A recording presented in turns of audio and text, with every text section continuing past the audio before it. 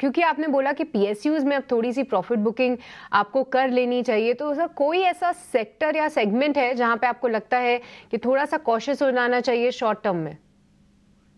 सृष्टि जी, आपका क्या जवाब है? लाजवाब। आपने कैसे याद रख लिया इंडस टावर और सही आपने फरमाया, मैंने सबसे पहले ये कहा था 200 210 में कि अगर वोडाफोन सरवाइव करेगा और पैसा रेस करेगा तो Indus tower is a must have उसके पिछले क्वार्टर के नंबर्स इतने शानदार थे और उसने अभी प्रोविजनिंग करी हुई है वोडाफोन के। आप देखिए अगर वो राइट बैक हुआ तो कहा जाएगा?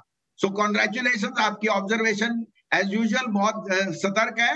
दो का पहला टारगेट है और वोडाफोन के तो बल्ले बल्ले हैं जिसके पास है। जिसके पास नहीं है वो ग्यारह रुपए पे खोजते रहे। तो अभी भी हम सोचते हैं साढ़े अठारह में थोड़ा सा एक बारी के लिए प्रॉफिट बुकिंग आएगी।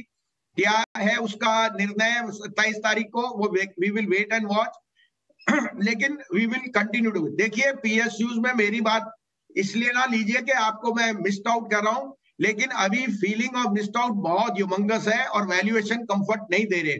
ना रेलवे ना डिफेंस में हाथ डालिए।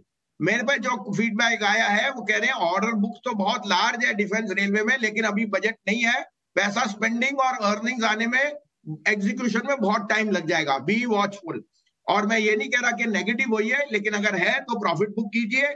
Same is the case with PSU bank same is the case with OMCs अगर पीएसयू में कोई लेने लायक शेयर है तो वो है ओएनजीसी आईआरसीटीसी और कॉन उनमें शिफ्ट कीजिए।